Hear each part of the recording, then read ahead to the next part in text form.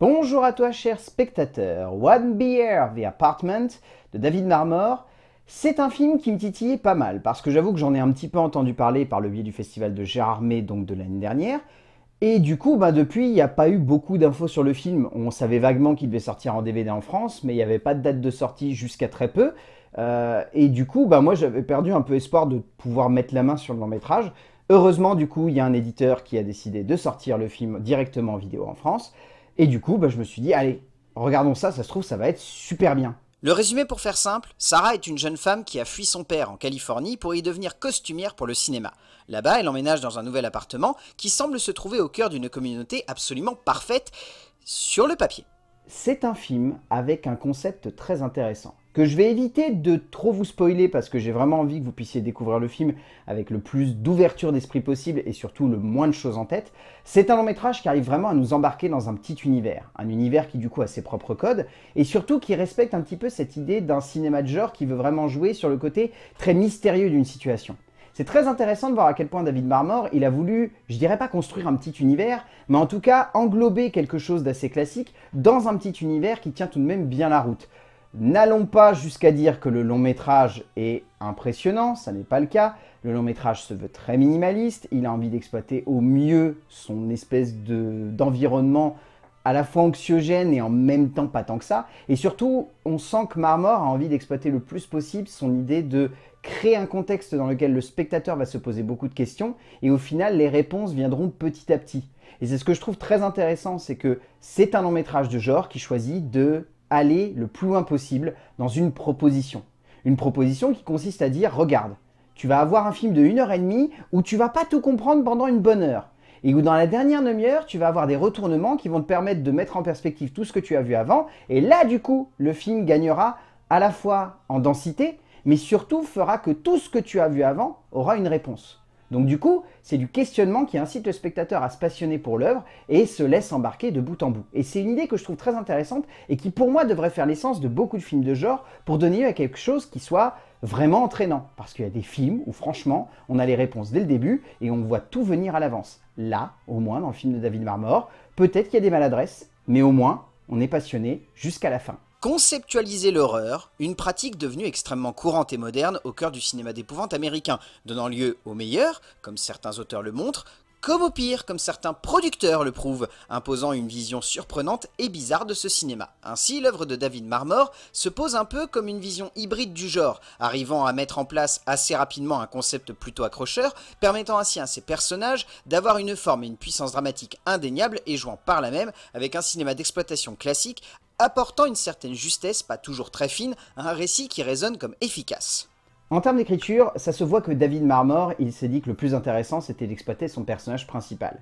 Parce que dans les premières minutes, on va vraiment avoir la sensation que ce personnage central euh, est, si ce n'est vide, en tout cas très lisse, voire trop lisse. Que clairement, elle n'a pas grand-chose à nous apporter, qu'elle sonne même comme un petit peu antipathique, euh, qu'elle a tendance à avoir des traits de caractère qui sont pas très immersifs en termes de récit qui ont presque tendance même à nous rejeter, à nous dire regarde ce personnage, il n'est pas hyper intéressant. Et il faut outrepasser ces quelques instants-là pour finir par se laisser porter par l'aventure au complet. Et l'aventure au complet, elle est vraiment intéressante parce qu'on sent que Marmor, il a voulu exploiter le plus possible à la fois son concept, mais surtout aller piocher des références qui vont un petit peu dans tous les recoins du cinéma. Il y a à la fois cette idée de vouloir exploiter la jeune, qui, la jeune femme qui a envie de débarquer à Hollywood avec plein de rêves, qui a été réutilisée dernièrement par exemple, j'en sais rien, par Nicolas Winding Refn dans The Neon Demon. Et c'est en même temps une espèce de mythe à l'américaine, ce personnage qui débarque dans une grande ville avec un rêve et qui va essayer de l'accomplir malgré tous les obstacles qui vont se mettre devant elle. Et en même temps, derrière, il va piocher d'autres références un petit peu plus complexes qui vont à la fois jouer sur des idées de secte, des idées euh, de communauté qui vont un petit peu prendre la possession d'un personnage. J'essaie vraiment de rester mystérieux parce que j'ai pas envie de trop vous en dire. Mais en gros, il va piocher des références un petit peu à la The Wicker Man pour justement embarquer le spectateur dans un récit qui, en termes d'écriture, va dans plein de directions, mais toujours avec un objectif, nous poser des questions et faire en sorte qu'on rebondisse constamment avec le récit et donc du coup qu'on se laisse embarquer par tout ce qui se passe. Et je trouve que c'est une très belle manière de construire un scénario tout en faisant en sorte que le spectateur, il comprenne qu'il y a des clichés, mais que ces clichés ne vont jamais empiéter sur la continuité dramatique. Marmor cherche à exploiter au mieux son concept, le poussant dans ses retranchements, oscillant entre la fresque humaine sur l'idée de communauté et la mise en perspective avec certaines sectes qui ont traversé l'histoire des États-Unis, et un certain cinéma de genre jouant sur l'ambiance et la montée en tension. S'il est indéniable que le dernier acte met un peu trop de temps à placer un enjeu qui semble presque évident dès la fin du second, on ressent tout de même de la part du scénariste américain une envie d'aller jusqu'au bout, d'exploiter le plus possible son héroïne, et surtout d'en faire une héroïne moderne intéressante, quoique par instant un poil trop cadré. En termes de mise en scène, ça se voit que David Marmor, il a envie d'être le plus minimaliste possible. Il essaye le plus possible de construire sa mise en scène sur, si ce n'est des gros effets, en tout cas des effets qui aient de l'impact sur le spectateur. Il joue sur une ambiance, sur une montée en tension, sur un côté anxiogène, mais également sur un côté euh, qui oppresse le spectateur, qui le pousse à ressentir et à se mettre à la place de ce personnage pour ne pas uniquement réussir à cerner les enjeux, on va dire, esthétiques et graphiques de l'œuvre, mais surtout comprendre ce que ce personnage peut ressentir à ce moment-là.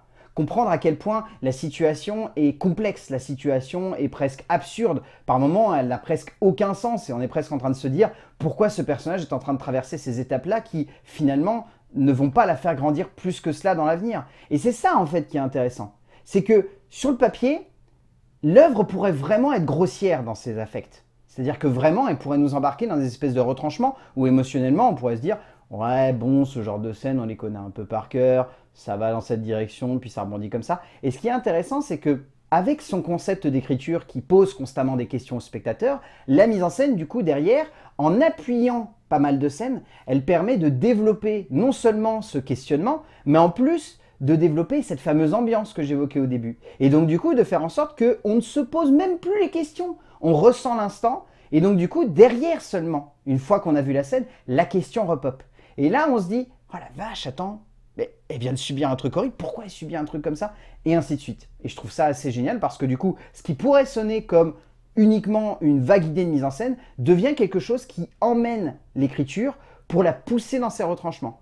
Indéniablement, c'est dans son jeu entre tension et mystère que Marmor exploite le mieux son long métrage, ne se perdant quasiment jamais dans un trop-plein de violence ou de sadisme, et exploitant plus l'idée de ne pas savoir dans quelle direction va son œuvre, pour mieux surprendre le spectateur. Dans ce genre, on est clairement surpris, le cinéaste parvenant à jouer à merveille avec ce que l'on aurait eu envie de voir dans l'œuvre, et ce qu'il choisit de nous montrer au bout du compte, parvenant à créer une tension omniprésente, certes par moments un poil abusive, mais qui résonne tout de même comme un point fort indéniable d'une œuvre que le cinéaste pousse à son paroxysme. En termes de casting, euh, il y a quelques gueules secondaires qui ressortent de son métrage que je trouve assez bonnes. Euh, Matthew ainsi que Taylor Nichols sont tous les deux excellents. J'ai trouvé leurs interprétations assez anxiogènes et en même temps ils ont, ils ont des vraies gueules et ça fonctionne du feu de Dieu. Derrière, on peut citer aussi Naomi Grossman ainsi que Alan Blomfeld. Euh, il y a également Céleste Sully qui ressort pas mal, que j'ai trouvé assez juste. Euh, Suzanne Davis est vraiment excellente, je trouve, dans le rôle de Miss Stanhope. Elle a une très belle interprétation du personnage et je la trouve particulièrement intéressante. Après, l'actrice principale, j'ai quand même pas mal de réserves parce que je la trouve intéressante durant quelques scènes. Je trouve que son jeu ne va pas assez loin dans le côté anxiogène et le côté complexe finalement de son personnage. Nicole Bryden Bloom a un peu un jeu passe-partout, donnant lieu à quelques scènes marquantes, mais dans l'ensemble, son interprétation est juste intéressante, sans rien exploiter de plus finalement, donc c'est un peu décevant. Au bout du compte, One Beer The Apartment est un film qui m'a vraiment agréablement surpris. C'est typiquement le genre de petite prod que j'apprécie regarder parce que je trouve qu'il y a beaucoup d'idées. C'est typiquement le genre de long métrage devant lequel on passe son temps à se poser des questions et où on se dit, ok, dans quelle direction ça va? Ah ça va par là, oh la vache, je m'y attendais pas. Et du coup, on se laisse embarquer et on se dit qu'on a envie de voir jusqu'où ça va aller. Je vous dis pas le final, mais le final est à tomber le cul par terre, je le trouve vraiment excellent et il a tendance à amener un petit côté qui est assez agréable dans ce genre de film et qui permet du coup de se dire que on peut imaginer plein de trucs par la suite. J'espère qu'il y aura jamais de suite parce que sinon ça serait vraiment une catastrophe, mais c'est intéressant du coup. Donc ouais, si vous avez l'occasion de vous procurer One Beer The Apartment de David Marmor, allez-y parce que je pense que ça pourrait vous convaincre qu'au film et c'est typiquement le genre de petit film de genre qui est entraînant et sympathique à regarder. Ça paye pas de mine, pas non plus exceptionnel, mais c'est cool. A plus